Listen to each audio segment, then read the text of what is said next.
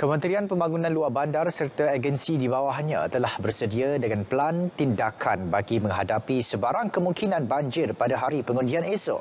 Menteri Datuk Seri Mazhar Khalid memaklumkan ketua agensi di bawah kementerian telah diberi taklimat berkaitan SOP jika berlakunya banjir.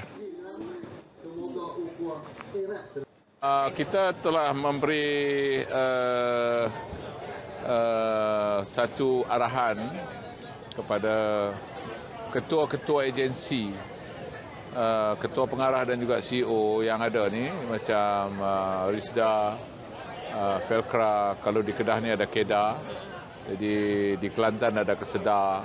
Jadi ambil langkah-langkah yang sepatutnya diambil lah.